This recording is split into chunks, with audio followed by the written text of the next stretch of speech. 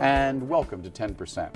You know, there are some people whose writing has become associated with the place, and none more than our next guest, George Heymont, and his writing on arts and culture in Northern California. George, welcome. Thank you so much. Now, I have read your writings on opera, on theater, on ships, on just about everything. How, how did you become the arts critic, probably with more clips than anyone I know? Well, I started in 1977. Um, at the time, I was friends with someone named Kristen Robert Bjornfeld, who was a member of the San Francisco Opera Chorus. And where Moby Dick now is, used to be a bar called the Corner Grocery Store. In the Castro District. In, in the San Castro Francisco, District, yeah. which had a classical jukebox. And on Sunday afternoons, they would have concerts with aspiring singers and a really clunky upright piano. And Kristen was one of the people who would sing. Uh, Kristen's roommate at the time was Paul Lorch, who was editor of the Bay Area Reporter. And Paul, when he was in the leather bars, would hear the two famous topic, the two favorite topics were opera and a new invention called the Cuisinart. and so he was trying to find somebody to write about opera, and Kristen said, Well, George follows Beverly Sills wherever she goes to sing, so that's all you need to know. And I was handed a chance to do anything I wanted. Uh, and they said, Well, you know, we can't pay you, so do whatever you want. Uh, so I decided to try writing for people who did not necessarily know about opera or would not follow it. And as the years went on, it got sometimes a little raunchier. For instance, I once titled a review of Porgy and Bess as Big Black and Uncut. and that makes people pay attention to your writing. Yeah. Well, your writing has always been an interesting mixture of um, lines like that, which I will leave unrepeated, uh, wonderful attention grabbing headlines, but clearly a real understanding of musicianship and the people behind them. I mean, you said you followed Beverly Sills pretty much everywhere she went, and that was true. I mean, how, how many times have you, did you see Beverly Sills perform? Lots of times, but I also got to interview her quite a few times. Um, what's different for me from many musicologists is that my education about opera and theater came from sitting in a darkened theater. In the same way people go to church every week, I was going into theaters three or four times a week during school. And so you get a different grasp of the operatic literature. You see Violetta die five or six times a season, so it's like going to visit an old friend and hold her hand. Um, there was a time when a friend of mine was in the Mets production of Carmen. She was singing Frasquita. And as a loyal friend, I went to a lot of performances, but Carmen was running four hours then, and by the end of the fourth act, I was sitting there going, Would you please die already? I have a chemistry exam in the morning. now, you grew up in, in Manhattan. No, in Brooklyn. In Brooklyn. Brooklyn. And you knew from an early age that you were both gay and loved opera, yes? No. Um, I knew I was gay when I started. I think the best moment was when there used to be old used magazine bookstores on 6th Avenue near 42nd Street. And you could go see magazines like Muscle Boy or um, Tomorrow's Man. And there was one time my father and I were in the same magazine store, and he was looking at Scientific American and National Geographic, and I glanced over and saw that he was far enough away, and I was reading Muscle Boy. Um, but no, I did not know much about opera at all. I had gone to one or two student matinees at the old Metropolitan where I saw a performance of Barber of Seville, which I remember mostly for paper planes sailing through the old auditorium. but when the Met moved to Lincoln Center in 1966, by that point I had met a friend in Brooklyn College named Mark Topkin. And Mark liked opera, and I was the one who was always in charge of getting the tickets. We were a very good team. And he said, I want to go see the new Met, go get tickets. So I ended up online on the standing room line at the Met, and that was how I got introduced to opera by what you could say are the equivalent of homeless people with a great passion. Mm-hmm. Well, I mean, you just said something interesting, showing how your writing history and and mine, a lot of people's, has spanned the definition of two words. You just talked about being online for the opera, which in 1966 meant something quite different than being online now. Oh, oh, hugely different. I mean, that goes into my, my, my segue about your, your new writing gig. You're now writing for a lot of online publications. Uh, I know you have your own culture blog called My Cultural Landscape.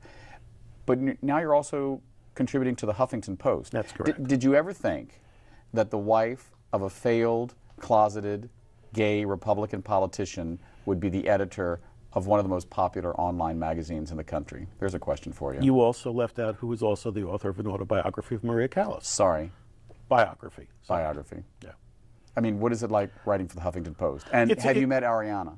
Uh, I only met her on the corner of 16th and Mission one time when she was running for co- co- governor, Governor, of yeah. California. Um, no, it, it's it's very nice, but if the web had existed back when I was writing for BAR, I would have had a completely different writing career. Because so much of it is now easier to share with friends and to pass on links to something, whereas I used to have to um, pay for photocopying every week's columns and sending them out in the mail, Right. which gets very expensive. Do you think that the quality of arts writing has gotten better or worse because of the online world in which we live, or it's just a completely different animal? It's a very different animal. You can break it down into several areas. There are the academics and musicologists who are often writing very dry stuff, which may not be very interesting. But thankfully, their stuff is now online so that when you need to research something, it's real easy to find stuff that you could never even get near before. Um, you have a lot of people who are bloggers who are basically trying to get free tickets to a lot of stuff. Um, and in many cases, they're writing very short pieces that are geared to celebrity news. And for, as an example, one time I was at the Frameline Film Festival and I ran into somebody who I th- I'm pretty sure was Perez Hilton. And I said, How do you like them? What have you seen that you like so far? He said, Oh, I don't care about any of these movies. I just want to interview cel- celebrities so I can get more hits on my website. So very often you'll see very short snippets of blog entries. Uh, and then there are other people like myself who are really passionate about film or whatever else they're writing about and write in detail and from a very educated perspective. Yeah, I mean, you have a lot of copy out there. I mean, I was doing a Google search of, Mm-hmm. you know, George Heymont, and you've written about a lot of things for a, a lot of years. I mean, Yeah. do you enjoy writing now more or before? I enjoy it more now because, in some ways, the software makes it easier. Uh, in some ways, the software curbs certain compulsions. Um, I'm someone who does a lot of re editing and rewriting, and I used to have to print something out each time and go to another room and read it and make corrections and go back and forth, and that took a lot of time. It's faster now. But it's also an amazing creative outlet. Uh, and, you know, whether people work out or whether they play a musical instrument, writing keeps me sane. I, I'm someone who enjoys spending time alone, and I enjoy playing with words. What was the single greatest operatic performance you ever saw?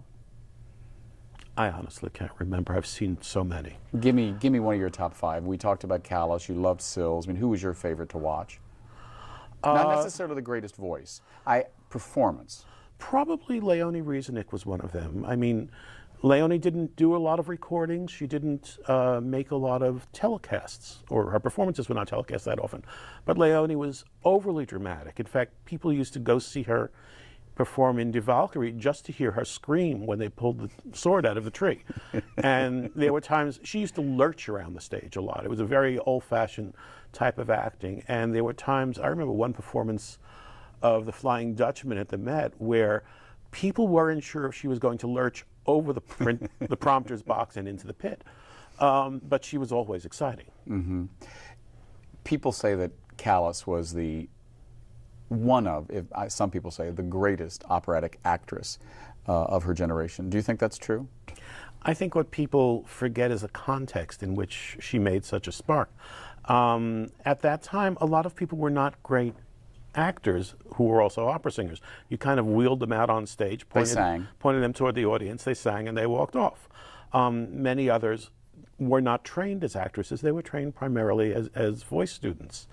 Um, Callas was the catalyst for what came later. And I mean, for instance, now you see many singers who not only look appropriate for the role they're playing, but are actually trained to know what they're singing, to know who they're reacting to, and to pay attention to the other colleagues on stage. So, in a sense, maybe without a Maria Callas, you wouldn't have had a Maria Ewing or a, you wouldn't have had a lot of people. yeah, Um, the gorgeous guy that played Billy Budd, right. Yeah. Nathan Gunn. Nathan Gunn. But the thing is that um, opera is very much a live medium. And what I was explaining to somebody in the green room just before is that many people today are so used to hearing either sound that has been engineered or synthesized or amplified that they have never heard the unamplified human voice. Right. When you go into an opera house, it's very different sound.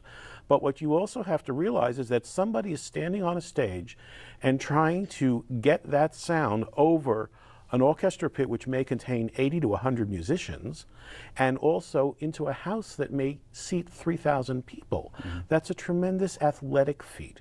And most people don't know it. I mean, there are singers who have lost 10 pounds of water during a performance because they're also wearing a 50 pound costume that's hot as hell inside.